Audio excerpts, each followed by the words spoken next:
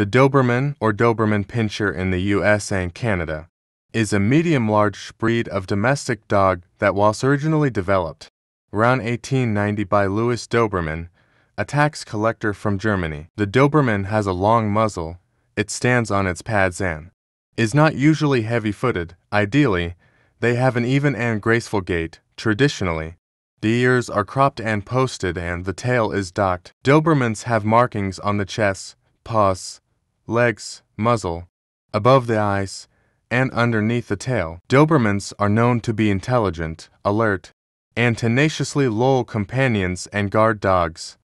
Intelligence, the Doberman Pinscher, has been ranked amongst the most intelligent dog breeds in experimental studies Stay. and expert evaluations. a- Psychologist Stanley Coren ranks the Doberman as the fifth most intelligent dog in the category of obedience command training. Aggression. Although they are considered to be working dogs, Dobermans are often stereotyped as being ferocious and aggressive. As a personal protection dog, the Doberman was originally bred for these traits. It had to be large and intimidating, fearless, and willing to defend its owner from attackers, but sufficiently obedient and restrained to do so only on command.